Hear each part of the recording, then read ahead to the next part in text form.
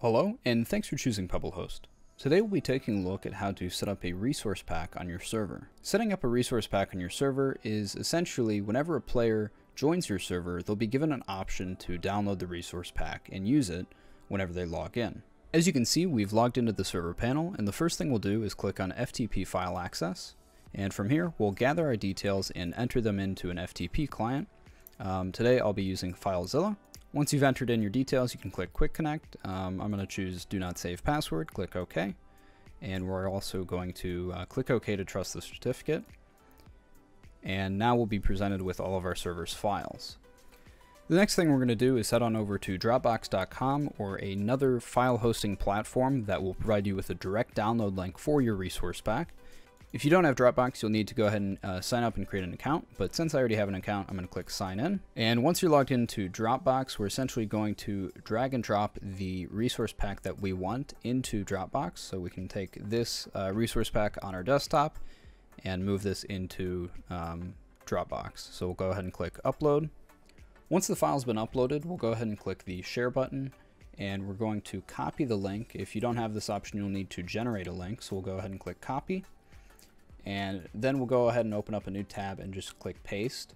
And we need to change this zero to a one. Um, so it'll be DL equals one instead of zero. And what essentially this means is whenever somebody goes to this link specifically, instead of giving them the option to download the file, they will automatically download the file.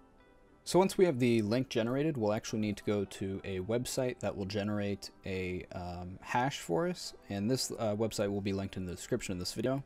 And here we'll need to actually upload the resource pack we have. So we'll click drop file here, select our resource pack, click open, and this will generate a hash. So we'll go ahead and copy this and we'll need to save this hash um, for our server.properties file.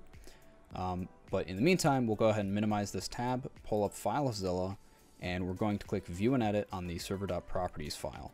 Click OK and we'll need to go ahead and find the section in this file that says resource pack sha1 equals and we'll go ahead and simply just uh, paste in the hash that we've just generated. We'll go back to our browser and go ahead and get that link. And now we'll need to go ahead and find the resource dash pack equals and we'll simply paste in the uh, link to the Dropbox, making sure that DL equals 1 um, in order for it to direct download. And once we have the hash and the download link for the resource pack, we can simply save the file, X out of this, and click yes to um, upload the changes. And from here, we'll just need to go back to our server, um, back to the main page, and click restart in order to apply the change to our server. Okay, so once the server is online, we'll actually go ahead and jump into Minecraft and join our server to ensure that the uh, changes we've made for the resource pack is working and that the resource pack is enabled. Okay, so we've jumped into Minecraft. I've pasted in our IP address for our server. We'll click Join Server.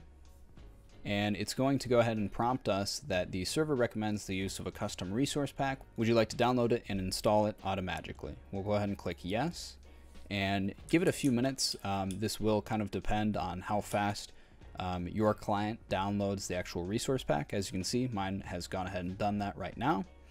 And as you can see, the resource pack has now been added in and uh, we are currently using it. That's going to wrap it up for this tutorial. If you have any questions regarding anything we've covered in this video, feel free to join the Pebblehost Discord and we'd be more than happy to help you there.